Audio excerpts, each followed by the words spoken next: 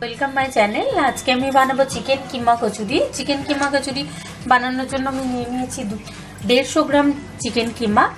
তো আমি কচুরিটা বানানোর প্রথমে পুরটা বানিয়ে নেব। পুরটা বানানোর জন্য আমি নিয়েছি এটা ননস্টিকের প্যান গ্যাসটা আমি অন করে নিচ্ছি আর নিয়ে নিচ্ছি আমি তিন চা চামচ সর্ষের তেল নিলাম। তেলটা একটুখানি গরম হতে দেবো। তেলটা গরম হয়ে গেছে, তো এবারে এর উপরে দিয়ে দিচ্ছি আমি ওয়ান ফোর চামচ মানে দশ বারোটা দানা দিয়ে দিচ্ছি আমি জিরে। গোটা জিরে দিয়ে দিলাম আমি। দেওয়ার পরে দিয়ে দেবো এর মধ্যে আমি তেজপাতা।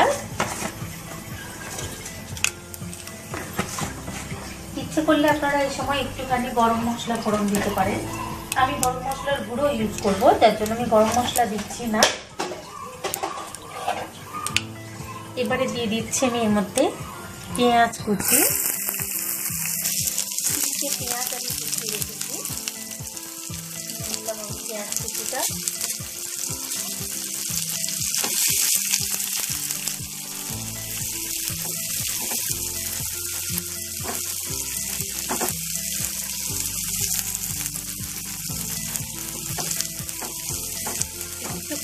একটুখানি কুচিটা আমি নরম হতে দেবো। এর করে আমি দিয়ে দিচ্ছি এক্ষুনি নুনটা। তাহলে খুব তাড়াতাড়ি পেঁয়াজ কুচিটা নরম হয়ে যাবে।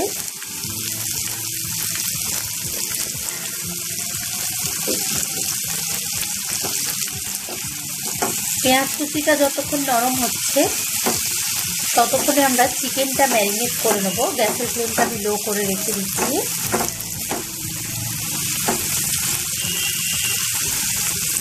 টমাটো আমি খুব ভালোভাবে ধুয়ে নিয়েছি। ধুয়ে নিয়ে আমি জলটা চিপে বার করে নিয়েছি। এবারে এর মধ্যে দিয়ে দিচ্ছি আমি হাফ চা চামচ লাল লঙ্কার গুঁড়ো। দিয়ে দিচ্ছি আমি গরম মশলার গুঁড়ো ফোর চামচ। আর দিয়ে নেব আমি জিরে গুঁড়ো ওয়ান চামচ।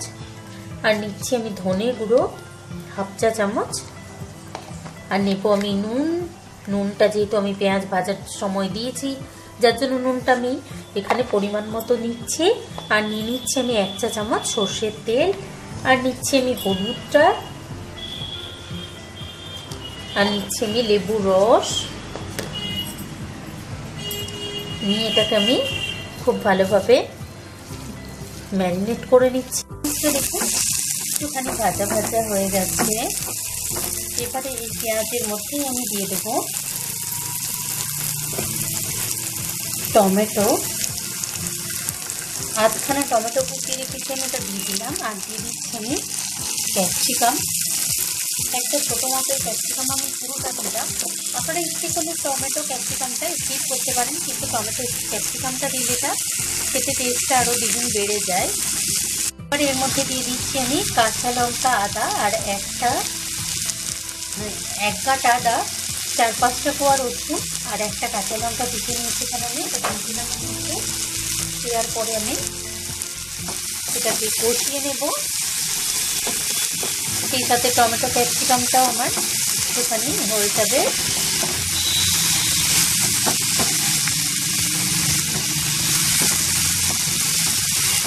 এবারে এটাকে আমি ঢাকা দিয়ে দিচ্ছি। গ্যাসের ফ্লেমটা লো করে আমি এটাকে ঢাকা দিয়ে রাখব।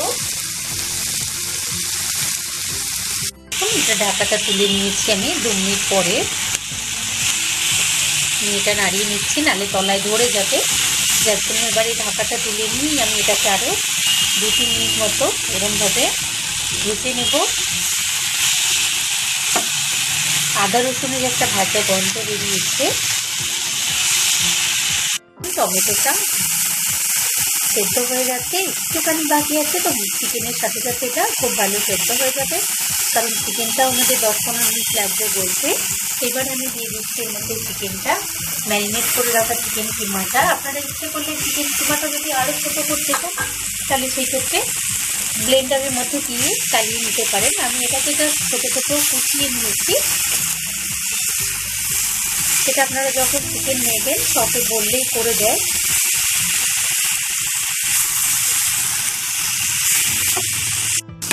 দেখুন, এটাকে আমি এরকমভাবে নাড়িয়ে নাড়িয়ে এটাকে কষিয়ে নেব। আপনারা চাইলে একটুখানি জল দিতে পারেন। আমি এর মধ্যে জল দেবো না। এটাকে আমি ছ থেকে সাত মিনিট মতো এরমভাবে কষিয়ে নেব। দিয়ে দিচ্ছি দুটো কাঁচা লঙ্কা। এরমভাবে মাছ বরাবর দিয়ে দিয়েছি। এটা আপনারা ছোটো করে একেবারে ছোটো ছোটো কুচিয়ে দিতে পারেন। তাহলে প্রত্যেকটা বাইকে মুখে পড়বে, সেটা আরও ভালো লাগবে। এটা যেহেতু আমার বাচ্চা খাবে বলে আমি এরমভাবে গোটা দিয়েছি। যে ফ্লেভারটা জাস্ট এর মধ্যে হয়ে গেলে আমি তুলে ফেলে দেবো, লঙ্কাটা পুরটা রেডি হয়ে গেলে। আপনারা কিন্তু বড়রা খাবার জন্য করলে খুব টেস্টি হবে। যদি কুচিয়ে ছোটো ছোটো করে একেবারে দিয়ে দেন, প্রত্যেকটা বাইকে মুখে পড়বে। আরও চার মিনিট হয়ে গেছে, তো এর উপরে আমি ছড়িয়ে দিচ্ছি একটুখানি গোলমরিচ গুঁড়ো।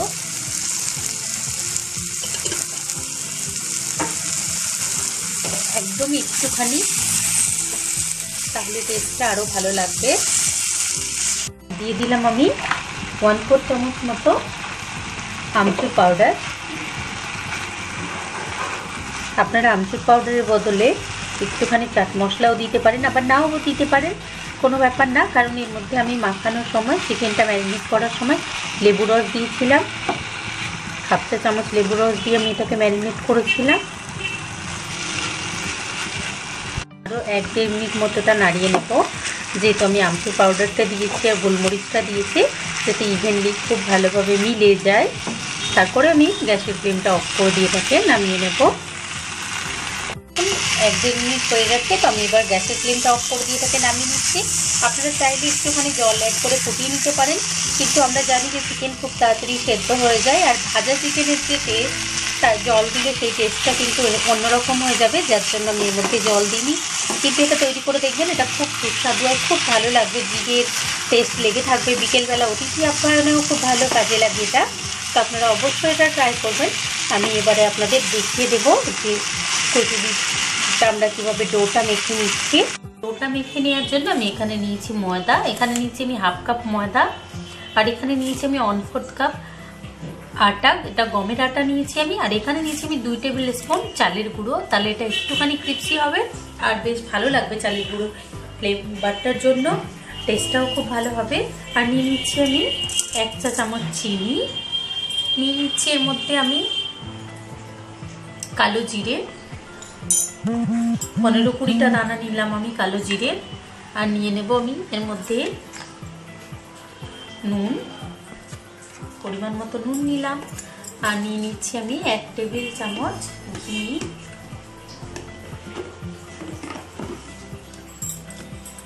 ঘিটা নেওয়ার পরে এটাকে আমি খুব ভালোভাবে সব সমস্ত উপকরণগুলোকে একসঙ্গে মেখে নিচ্ছি। এবারে এর মধ্যে এটা আমি খুব ভালোভাবে মিলিয়ে নিয়েছি। মিলিয়ে নেওয়ার পরে এর মধ্যে মিলিয়ে দিচ্ছি আমি জোয়ান। একটুখানি জোয়ান মেলালাম আমি এটা। মিলিয়ে নিয়ে আবারও আমি খুব ভালোভাবে এটাকে মিলিয়ে নিচ্ছি। দেখুন, এটা এরমভাবে মেলালে মনে হচ্ছে যেন একটা সুজির দানার মতো, দানা দানা হয়ে গেছে। এটাকে খুব ভালোভাবে মেলাতে হবে ময়ানটার সঙ্গে। মিলিয়ে নেওয়ার পরে এটাতে আমি ঈষদ উষ্ণ গরম জল দিয়ে এটাকে মাখবো। আমি অল্প অল্প করে জল দিয়ে এটাকে মাখবো যাতে নরম না হয়ে যায়। আবার খুব শক্তও মাখবো না এটাকে। দেখুন, এটা আমি ডোটা মেখে নিয়েছি। এটা আমি লুচি পরোটার দই থেকে একটুখানি শক্ত মেখেছি, কারণ এর ভেতরে আমি পুরটা ঢোকাবো বলে। এটাকে আমি দু তিন মিনিট আরও ঠেসে নেব। দেখুন, এটা মাখা হয়ে গেছে, একটু ঠেসে নিচ্ছি এটাকে। পুরটা আমি ঢেলে নিয়েছি, ঢেলে নিয়ে এর মধ্যে আমি মিলিয়ে দিয়েছি এক টেবিল চামচ ধনে পাতার মধ্যে কুচিয়ে মিলিয়ে দিয়েছি আমি। এটা নামানোর পরে আপনারা ইচ্ছে করলে কড়াইয়ের মধ্যেও মিলিয়ে দিতে পারেন, কোনো ব্যাপার না। তো আমি পরে মেলালাম, এটা নামিয়ে নেওয়ার পরে। আর এরমভাবে আমি এটাকে টেনে আলাদা করে দিচ্ছি। তেজপাতাটা। আমি তুলে ফেলে দিলাম। সেই সঙ্গে যদি আপনারা ইচ্ছে করেন কাঁচা লঙ্কাটা রাখতে পারেন, আর না হলে তুলে ফেলে দেবেন। আমি বলেছি যেহেতু আমার বাচ্চা খাবে, সেহেতু আমি এটা তুলে ফেলে দেবো।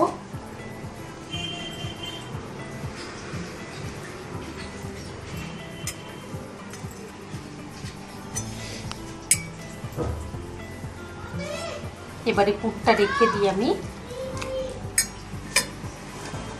নিচ্ছি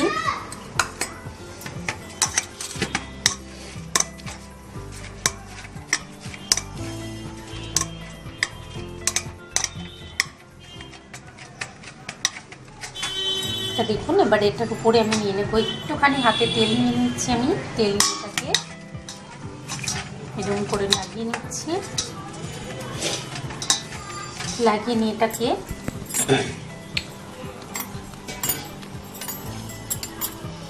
এটাকে আমি এরকম করে লম্বা করে এটা থেকে আমি লেচি কেটে নেব।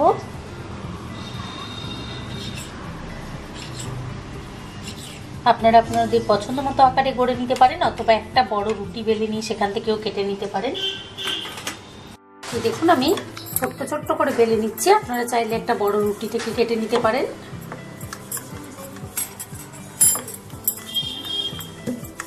যেহেতু আমি এটা ময়ান দিয়ে মেখেছি, তাই আমার তেল বা ময়দা কিছুই লাগছে না বেলার জন্য।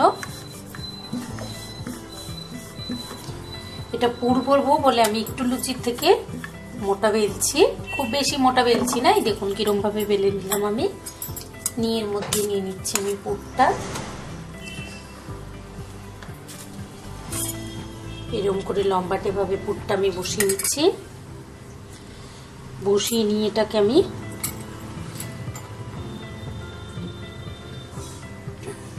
এরমভাবে মুখটা আমি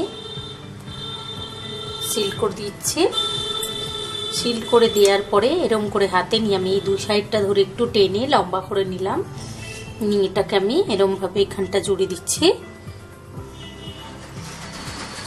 দেখুন, রেডি হয়ে গেল। আমি আরেকটা এরমভাবে রেডি করে দেখিয়ে দিচ্ছি আপনাদের।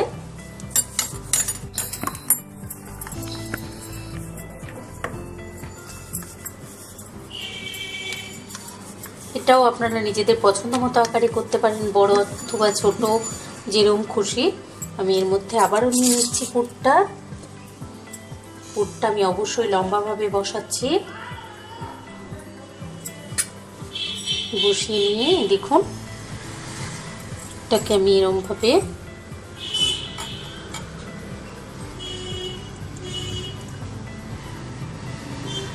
যদি মনে হয় যে যেটা ডোটা একটুখানি শুকনো হয়েছে, বেশি ড্রাই হয়ে আছে, তাহলে আপনারা জল হাতে নিয়ে কাজটা করবেন। আমার ডোটা যেহেতু পারফেক্ট আছে, যার জন্য আমার জল লাগছে না, আমি এই দুই মাথাটা একটু ধরে টান দিলাম। টান দিয়ে আবার আমি এটাকে এরমভাবে জুড়ে দিলাম। দেখলেন তো কত ইজি এরমভাবে আমি সবগুলো বেলে নেব। এখন এরমভাবে আমি বেশ কয়েকটা তৈরি করে নিয়েছি। এবার আমরা এগুলো ছাকা তেলে ভেজে নেব।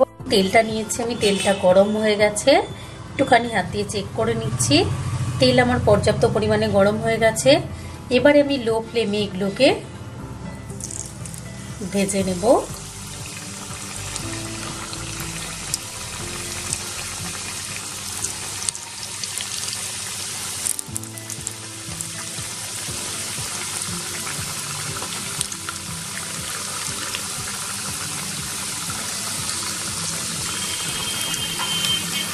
কড়াইতে আমি দিয়ে দিয়েছি ছটা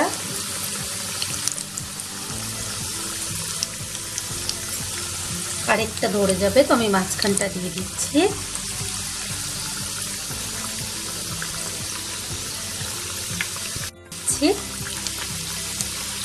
তিন মিনিট হয়ে গেছে, এটা আমি লো ফ্লেমে খাচ্ছি এবার আমি একটুখানি উল্টে নিচ্ছি এগুলোকে।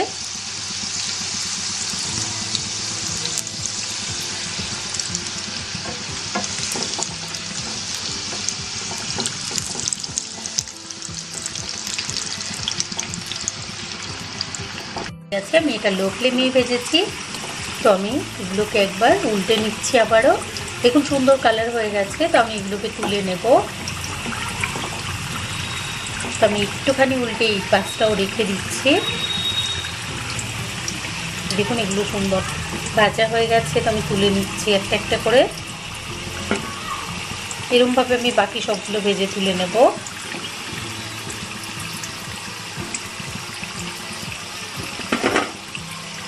আপনারা ইচ্ছে করলে পুরটা তৈরি করে রেখেও দিতে পারেন ফ্রিজে। এটা দুই, তিন দিন ইউজ করা যাবে। এয়ারটাইট কন্টেনারের মধ্যে যদি পুরটা রেডি করে রেখে দেওয়া যায়।